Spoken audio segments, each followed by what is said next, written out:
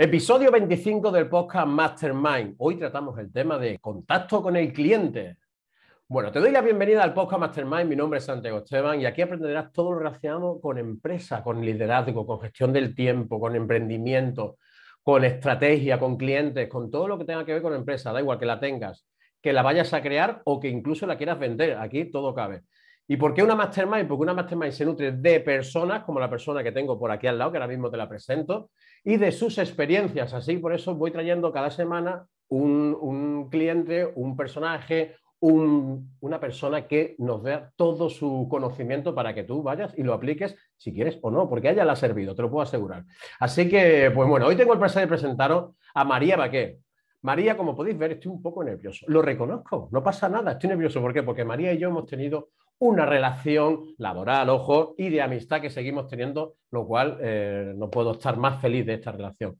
Pues mira, María Baqué es empresaria, primero de todo es madre, presidenta del Consejo de Café Baqué, ahora nos explicará ella, pero sobre todo una mujer generosa, le gusta estar rodeada de lo suyo, le encantan las cosas sencillas, pero aprecia como nadie la calidad y el saber hacer.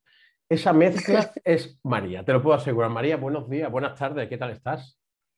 Buenos días, aquí buenos días, allí buenas tardes. Eso es. Porque... Muy bien, estupendamente. ¿Tú qué tal, cariño?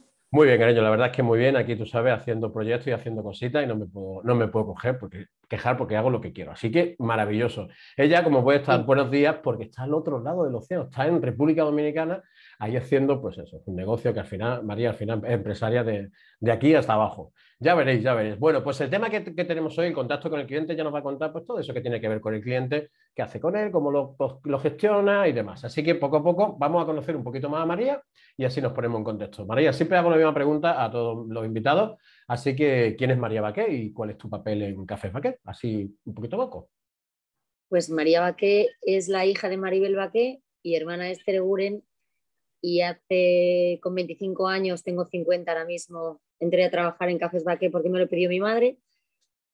Entré en el departamento del laboratorio, después pasé a marketing y hubo una separación familiar donde mi madre, nuestra madre compró la empresa, nuestros tíos, y ya nos quedamos nuestra madre, Esther y yo con la empresa, con lo cual pasé de estar en un departamento a tener casi que, que llevar Cafés Baque en ese momento porque además nuestra madre cayó enferma y bueno, pues nos quedamos yo llevando Cafés Baqué. ¿Y quién soy? Pues ahora mismo la presidenta del Consejo de Administración y una más de Cafés Baqué, sinceramente. O sea, una, una más porque es una pelea más todos los días donde un cliente hay que conseguirlo todos los días.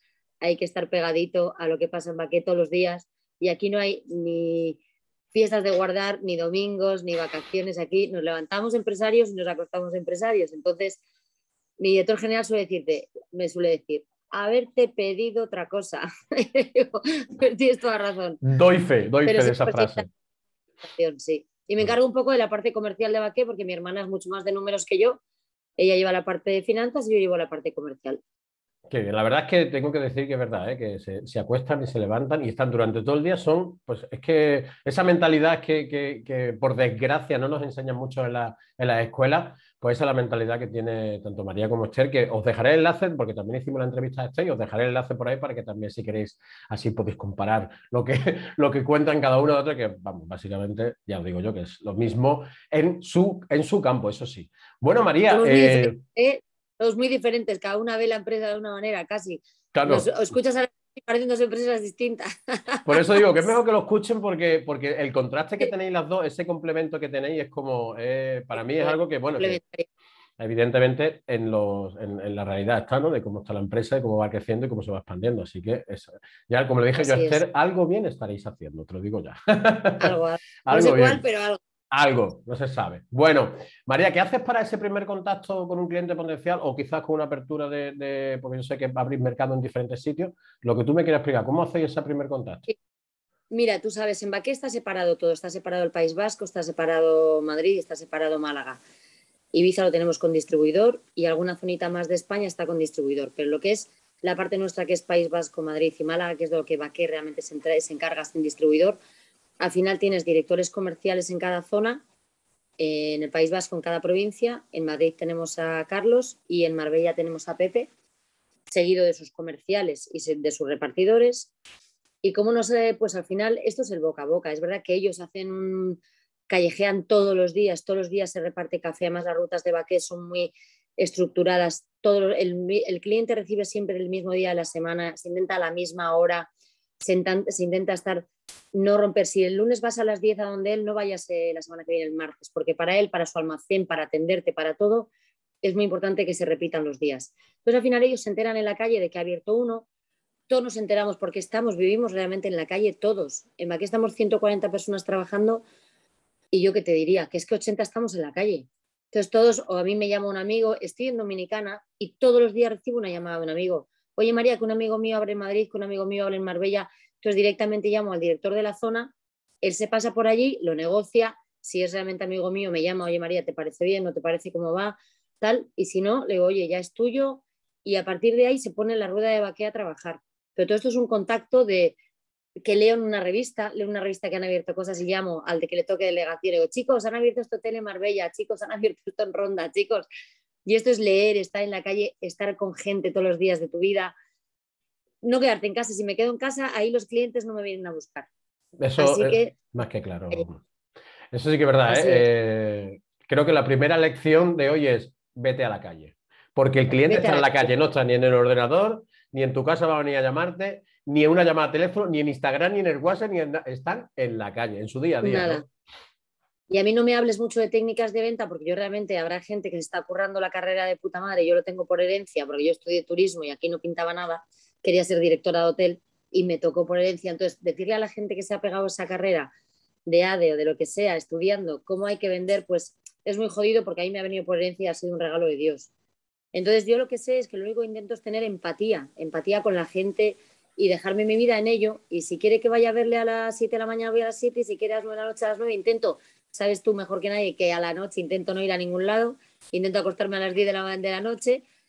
Y el día entero pasarlo donde el cliente quiere y como el cliente quiere. O sea, es que es empatía, es estar y preocuparte por él, ponerte en su situación de cada uno. Y así consigo hacer los clientes, la verdad. Sí, yo creo que vuestra, al final, vuestra diferenciación máxima es esa personalización ¿no? que le dais a, no al cliente, la cercanía a cada uno de ellos. No fallarle nunca, si le estropea la cafetera, tú no le puedes decir, vamos a pasar el aviso y ya irán. No, no, es que este señor, si no puede dar café cuando acaba de abrir la cafetería, se está cagando en tu madre. Claro. Entonces, tiene, quiere tener al técnico allí en cinco minutos, mejor en cuatro. Entonces, tú tienes que tener un servicio técnico brutal. Mm. que es, por ejemplo, lo que nos está costando mucho montar aquí en Dominicana ahora mismo. Hay que encontrar esa gente que hagamos un equipo entero, desde el que te vende hasta el que te pone la máquina, el técnico, el repartidor que te va a llevar el café, todo. Claro, no, no, totalmente. Además, el, el engranaje que vosotros desarrolláis, que al final lo que tú dices, que es todo tiene que ir muy ligado para que no falle la, maquinaria, por decirlo de buena manera, porque en el, momento que haya un Muy bien. Y luego las visitas eh, semanales que hacen los comerciales son muy buenas para que tampoco la competencia pueda entrar. Al final, si tú le dejas el café y te vas, no hay que estar encima, hay que saber qué día es su cumpleaños, qué le pasa a su mujer, cómo está su hijo, hay que charlar, hay que tomarse un vino, hay que pasar el tiempo, hay que tratarlo como si fuera un amigo tuyo.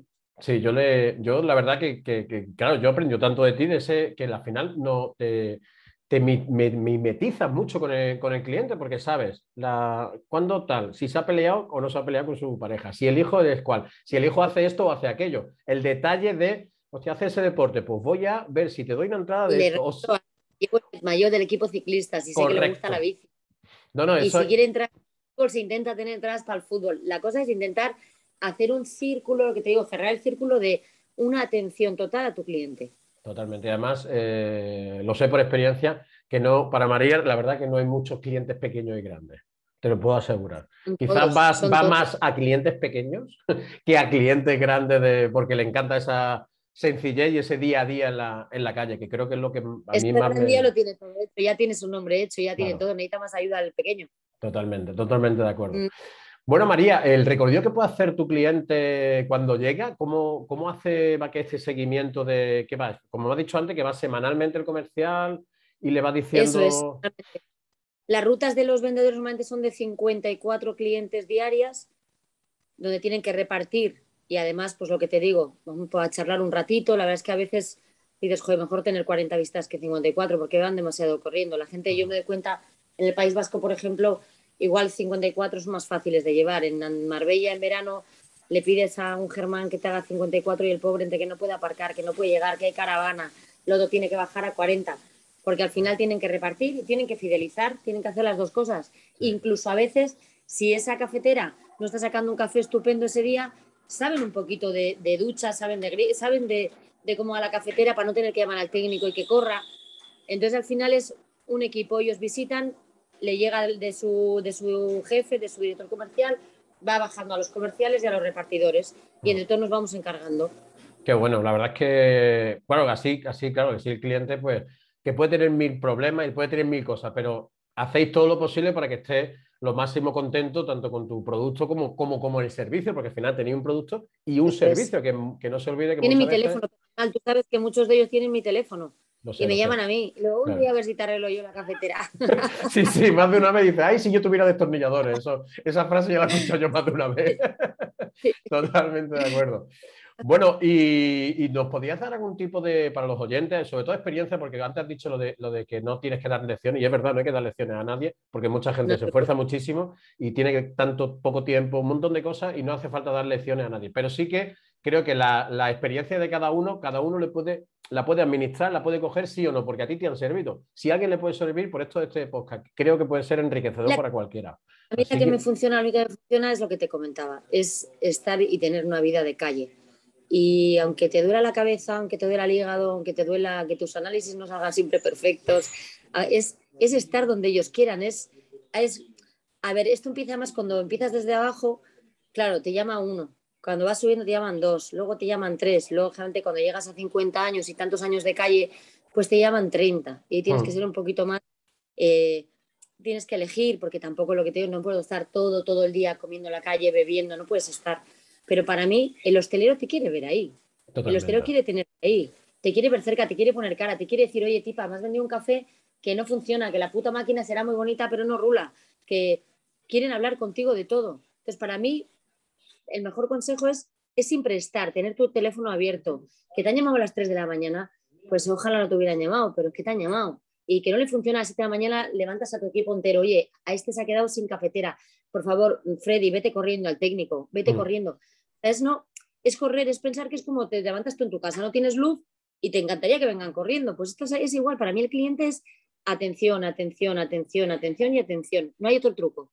Pues yo, fíjate, Fíjate que parece sencillo, pero no lo es, ¿eh? ojo, ¿eh? pero sí que es verdad que hace al final una, cosa muy sencilla. Atención y mucha atención sobre todo al detalle. Y cariño. Tienen amor, ¿no? Al final todo es, todo, todo se Gastarte tu dinero con ellos. Gastarte tu dinero con ellos. Mm, Así es, darles de ganar lo que ganas tú. Mm, Así es. Es como una reinversión en la inversión futura que va a ser. Si es que eso al final es lo que. Pues si te parece, hago un resumen así rápido de lo que hemos estado hablando, ¿te parece? Para que los que estén llegado hasta aquí pues vean lo que quién es María y, qué es lo que hace y cómo lo hace. Bueno, pues vamos a hacer un resumen. Como podéis ver, María es una mujer de lo más sencilla que os podéis encontrar ¿eh? y a la vez es muy sodificada. ¿Por qué? Porque es que, aunque parezca, como se, ella, como no sé, pero siempre está que no quiere dar lecciones, no quiere tal, pero es una persona que está muy, muy, muy al detalle en todo lo que tiene que ver con su cliente. Está muy encima de él está muy encima de, Café Baqué, se sabe todos los nombres, doy fe, de cada persona que trabaja con Baqué y posiblemente más de alguna pareja, hijos y demás, porque yo me quedo alucinado con eso de cuando yo, cuando fuimos la primera a, a, Bilbao, que es donde está la sede, ¿no? En Durango, donde está la fábrica y es como el nido de todo Baqué, ¿no? Y llegamos allí y, y era como, ¿cómo te puedes saber el nombre? De absolutamente todo y le preguntaba, ¿Cómo está tu mujer? Y el nombre. ¿Y cómo está tu hija? Y el nombre. Acaba ya la carrera, digo. Esta mujer tiene aquí un disco duro que digo yo que no es normal. Entonces eso lo traslada al cliente. Es que es así. Entonces se sabe detalles de los clientes que el cliente en sí, esa empatía que cuando va y va, la verdad que va evidentemente con estrategia de mercado, pero es que va a ver realmente cómo está el cliente. Es que es parte de la estrategia, es ver cómo está el cliente, qué le hace falta, qué le puede hacer mejor y sobre todo, en qué puede ir mejorando. O sea, si hay algo que se ha equivocado, porque ¿no? nos, equivocamos todo y creo que... Hay... Más Ves que más, ver qué más necesitan, ver qué más piden, qué están solicitando. Pues estar ahí. Y la calle, la calle es la que te y la calle, eso es, pero al final es que la calle es la que te dice, el cliente está ahí, el cliente es esto lo que quiere, y yo creo que al final entre tú y sobre todo el equipazo que tienes como empresa es que se hace y luego estar muy bien rodeado ¿eh? por, por. ¿no? podría claro. Esto es la gente que tengo detrás, los 140 tíos, que yo digo, mm, ayer me llamo uno, llamo a Carlos, Carlos, el lunes sin falta tienes que estar ahí, Carlos no falla el lunes. O sea, esto es una rueda, porque si yo no tengo 140 detrás, no puedo hacer esto. Yo tengo, lo tengo más que claro, que el equipo que tienes detrás y el que se incorpore y qué tal, es, aquí, es que es, eh, es la esencia de, de, de, la empresa y es que sin ellos, evidentemente, por mucho que tú quieras ser y tal, es imposible gestionarlo todo. Y, y creo que al final os hacéis lo posible por adelantarlo a esas necesidades que el cliente en un momento dado pueda llegar a tener. Entonces eso es muy, es muy, oye, yo creo que deberías poner dos máquinas o podías hacer tal, o pon esta mesa aquí, o te voy a traer una cosa porque creo que te puede venir mejor. Y eso, el cliente, esa empatía que tiene, como, coño, que esta mujer quiere que a mí me vaya bien. ¿Por qué? Porque si le va bien a él, pues le va bien a, bien a todos. Es que así, al final el dinero tiene que rular.